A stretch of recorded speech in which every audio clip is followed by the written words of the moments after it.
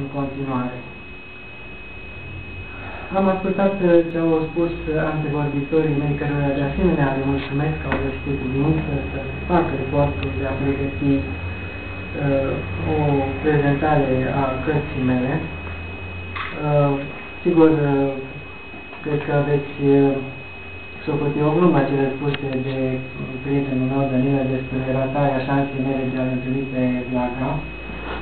Dar a fost, așa s-a întâmplat. Să-și dea importanță de ce. Uh, din păcate, profesorii noștri nu au putut să ni-l recomande pe Blaga pentru că le-a fost interzis. Blaga nu se studia, Blaga era ostracizat. Asta a fost situația și nu închipui că profesori de marcă, precum Liviu Roman sau uh, Bologa sau alții, nu ar fi remarcat uh, prezența aici dacă ar fi uh, fost convinși că nu riscă nimic dacă o fac.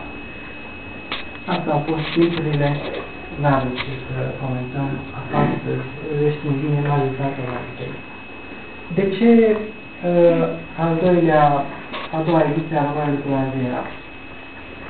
Prima ediție, a fost în 95, am întropit-o uh, într-un timp relativ scurt. Uh, romanul avea foarte bine integrat, integra structură etică, dar uh, știți cum era, obligațiile profesionale, mai ales practica asta ca profesor, îți fragmentează timpul. Or, asta e cel, cel mai mare impediment al unui scriitor să-ți vezi timpul fragmentat. Să stai acolo la masa de lucru, ore, ore în șir, zile, una după alta, pentru că altele ideile ți se risipesc sau știu eu anumite sugestii fine care ți se uh, creează prin uh, procesul acesta de redactare, de creație uh, și uh, de aceea am căutat ca să mă concentrez pe o perioadă relativ limitată, la trei luni, în redactarea romanului. Și am izbutit să o fac. Cu timpul ulterior am simțit așa o oarecare dinovăție că n-aș fi dezvoltat suficient de mult cartea, în măsura posibilităților care uh, ar fi existat.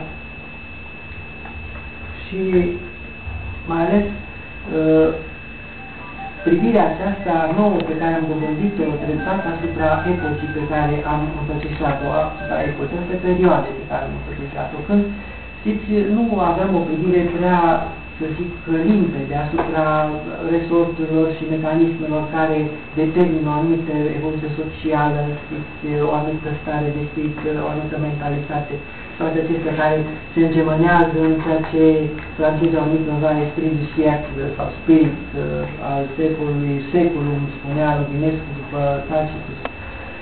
Există un, uh, un spirit al momentului, neapărat al secolului. Ei bine, nu l-am putut intui din capul locului.